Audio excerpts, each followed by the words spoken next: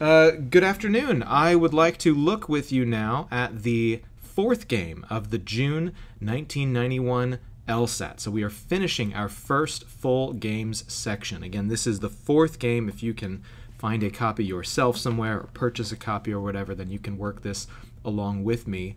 Um, because the other three games, two of them were relatively straightforward order games, and the the third game, which was actually the second that we did, um, was a grouping game that was, I would say, moderately difficult.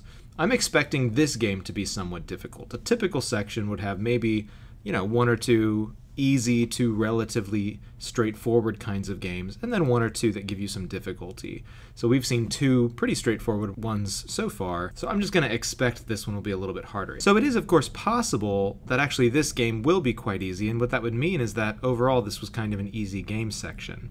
And you might think that's to your advantage because of the nature of the way the test is scored and how your score is at least somewhat relatively determined on a bell curve compared to the students who are taking that same test administration, it's actually to your advantage that the game section be pretty much as hard as possible.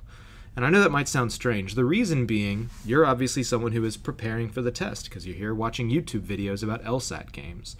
Someone who's just coming in without having done any preparation on an easier game section, they're going to do pretty well. Presumably, you're going to do even better than they are, and so you're still coming out okay, but imagine the opposite. Think about a really hard game section. You might miss a few questions more than you normally would, but you've got your pacing set. You've studied what you've studied. You know the different game types. You're ready to go. That person who hasn't spent any time doing those things, they're going to get way more questions wrong than they would normally on just your average game section. So, comparatively speaking, even though you might miss more on a harder game section, it is going to be better for you overall. Of course, we can't control any of that in the midst of the section. You can only work the games as they come up. So, there's not too much reason to spend time thinking about that during the section. But if you get to the end of the section or the end of the test and you start to reflect on that and you're like, wow, that felt really hard, that is actually to your advantage. In any case, I think that's enough intro. Let's go ahead and jump in here. We've got questions 19 through 24. Again, this is the fourth game of the second section of the June 1991 LSAT. A railway company has exactly three lines, line 1, line 2, and line 3. The company prints three sets of tickets for January and three sets of tickets for February, one set for each of its lines for each of the two months. The company's tickets are printed in a manner consistent with the following conditions. Um, so I think the best setup here will be one that almost looks like an order setup, although I don't think this is an order game. We're not really arranging the sets of tickets. Instead, as we'll see in a second, yeah, it's something about the coloring on the tickets. Uh, you'll notice this game is a little bit strange in that the elements we're going to place into our spaces don't actually appear until we read that first clue. So it kind of looks like an order setup, but really we're just going to be placing these different colors. We do have this kind of two-dimensional aspect where we've got January and February tickets or printings for each one of the lines. And so we'll just do January on top and February on bottom. Uh, let's go go ahead and jump into the clues. Each of the six sets of tickets is exactly one of the following colors green, purple, red, and yellow. So again, we're getting our elements, they just happen to be coming in the first clue instead of in the setup. For each line, the January tickets are a different color than the February tickets. So what that means is that if I've used green for January, I can't also use it for February and vice versa. So I'll never see green over green, purple over purple, red over red, or yellow over yellow. For each month, tickets for different lines are in different colors. For each month, tickets for different lines are in different colors. So I think that means we can only use each color once on top and bottom. I'm just going to jot down, there's not a great way I think to symbolize this. I'm just going to say no colors more than once. And again, that's going to be true on top and bottom. Uh, we don't love it when we just have to kind of write a note down because the whole point of symbolizing clues is that we don't have to refer back to words. Uh, but again, in this case, I'm not really thinking of a great way to symbolize that clue. Um, let's see, we've done each of those first three. Exactly one set of January tickets is red. Okay, so simple enough. We will use red somewhere on top. For line three, either the January tickets or the February tickets, but not both, are green. So we're going to have to use green somewhere for line 3. The January tickets for line 2 are purple. Okay, favorite kind of clue. We can just put that right on the diagram. January tickets for line 2 are purple. No February tickets are purple. Okay, so we never use February, uh, or we never use purple tickets for February. What about our deductions? What can we figure out? Well, sticking with purple for a second, if we can't use the colors more than once, line 1 also can't be purple in January, and also can't be, um, line 3 also can't be purple in January. So actually, purple is done, right? We're not going to use purple anymore. It only appears as the January line 2 color. What else can we say here? Uh, I guess we could go ahead and say the red will either be uh, line 1 for January or line 3 for January because it said we have to use that somewhere on the top uh, in January. I guess we could also go ahead and say that for February, since we can't use purple, it's going to be some arrangement of green, red, and yellow. We just don't know how they're going to be arranged on the bottom of this diagram. And I believe that's it. I'm not seeing any other deductions. And again, as always, there may be other deductions, but deductions are simply natural consequences of the rules. So as long as we're following the rules, anything that would have been a deduction will come up for us anyway. Let's go ahead and jump into the questions. I'm looking at number 19 here. Uh, I am always hoping that that first question is one of the complete and accurate style questions. Which one of the following could be a complete and accurate list of whatever? Because I can just use the rules one at a time to cross off answer choices till I come up with an answer. Can't do that here because number 19 is just a standard specific style question. If the line 3 tickets for January are red, which one of the following statements must be true? So let's carry down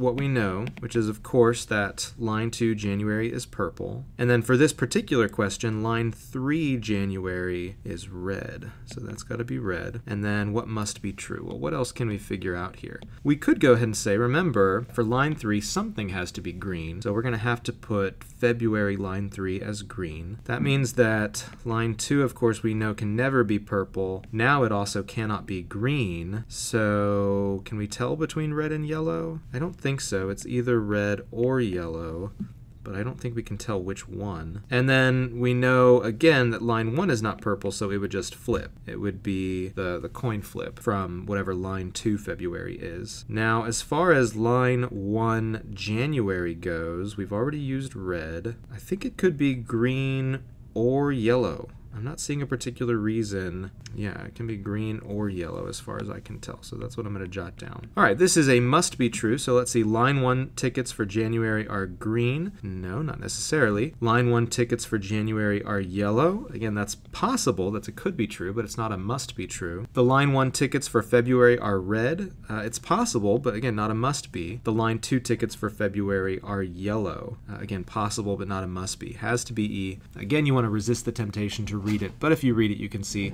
the line 3 tickets for February are green, and yes, that's the one thing that we figured out there. All right, let's go ahead and work on number 20. Uh, I've already brought down what we know. If one set of the line 2 tickets is green, which one of the following statements must be true? Well, since we know that January for line 2 is already purple, then that means that has to be green. And then from there, well, we know that line 3 February could not be green. We can't use them again. So that means that green is going to have to go in that line 3 January slot. Of course, we also know line 1 can never be purple, can't be green right now. I was about to say could be red or yellow, but I can see now, remember, red is going to have to get used once for January. So the only place that can happen right now is line 1, which means that line 2, no, I'm sorry, line 1 February has to be yellow. That's the only thing left over. And that means that red is going to be line 3 February.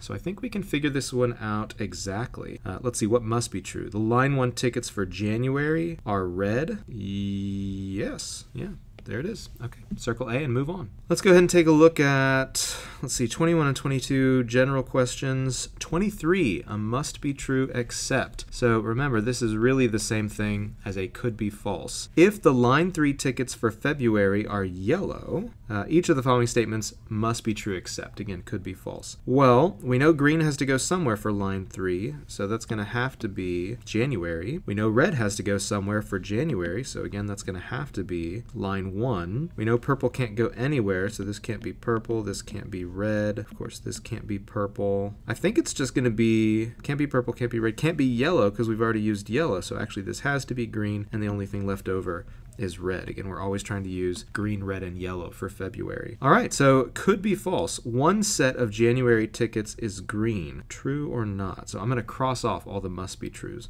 One set of January tickets are green. That's true, so I'm going to cross off A. Um, oh, wait, January tickets. Gosh. One set of January tickets are green. That's true, so I'm still going to cross off A. One set of line 1 tickets is red, also true. Cross off B. One set of line 2 tickets is red, yep. The tickets in two of the six sets are red, that is also true. Should be E. Circle E and let's move on. Uh, 24, suppose that none of the tickets are purple. Okay, so this is changing the rules. We're going to save this for later. Let's go ahead and go back to the general questions. Which one of the following statements could be true? So I'm looking at 21. Our general questions we always want to try and answer either from the deductions we came up with at the beginning of the game or from the various scenarios that we've worked out, especially for something like a could be true, because that's just looking for a possibility. So if we've seen that at least once, that's the answer. Uh, no January ticket is green. Yeah, I think that's the answer. Unless I'm missing something, on 19 it could have been yellow. Oh wait, no January ticket? Oh gosh, I keep doing that on this game. This game is hard to keep track of vertically versus horizontally, which makes me think maybe I set it up with a less than ideal setup. Like maybe it would make better sense to have January, February, and then one, two, three, one, two, three, three slots in each. At this point, though, obviously we're not gonna figure that out. And if it had been easier, I mean, it's too late, right? No January ticket is green. Again, number 19, I think that was possible. Could have been yellow there, but not necessarily green, so that should be the answer. Number 22, which one of the following statements could be true? Uh, again, we'll either use previous situations or our deductions. Both the line 1 tickets for January and the line 2 tickets for February are green. So did we ever see green, green here? Why? We haven't seen it.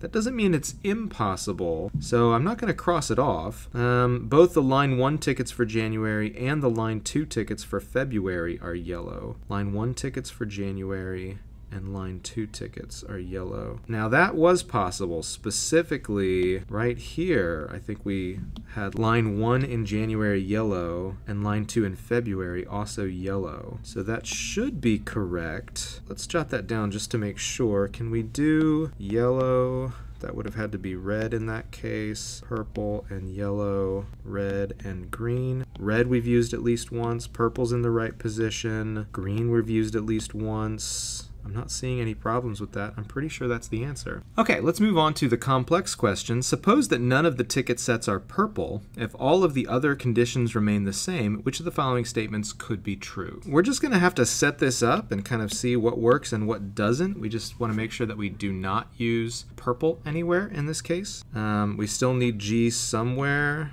top or bottom. We still need R somewhere once across the top. We don't know where. None of the January tickets are green. Well, if we're already not using purple and we're not repeating any colors, it would be impossible to use just red and yellow across those three lines.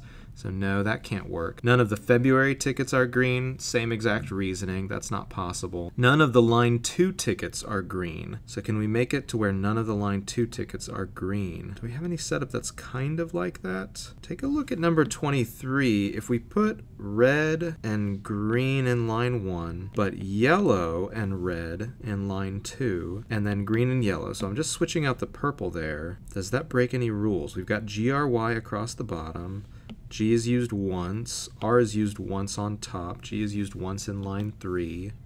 I think that's it. None of the line 2 tickets are green. I think that's the one. Yeah, so that's C. All right, moment of truth. Uh, we've got E, A, A, B, E, and C. E, A, A, B, E, C. E, A, A, B, E, C. Awesome. We did it. Got them all right. I would say, I mean, it was definitely not one of the easiest two. The first and third, the order games, were definitely the easiest. I feel like that was harder than 8 through 13 as well, so I think we chose wisely there to save that for the end. Now, of course, I'm just doing them in order anyway, but if we had been doing them in order in this case, I think 1, 2, 3, 4 would have been okay. 1, 3, 2, 4 probably would have been even better. It's pretty important to make sure that you're doing at least the two easiest games, first and second. Pacing can be difficult. You want to bank as many points as possible. And as the games get harder, you might just want to pick off a few questions rather than try and work through the whole game. So, in that case, I don't think the specific questions were terribly difficult. It was really just those last two, the general question and the complex question, that ended up taking a bit of extra time. So, there it is. First four games done. Prep test uh, 1 from June 1991, all done. Planning to work through all the others, so if that was helpful to you, be sure to like this video and subscribe. I kind of have a schedule in mind now. I'm going to try and do these every Tuesday and Thursday for a while, maybe have some weekend editions, because um, I'd like to be able to get through them, you know, not over five years or something, maybe over a year or two. Uh, but that's the plan. We'll see how that goes. If there is something else I can do to help you out, you be sure to let me know. And otherwise, have a good weekend.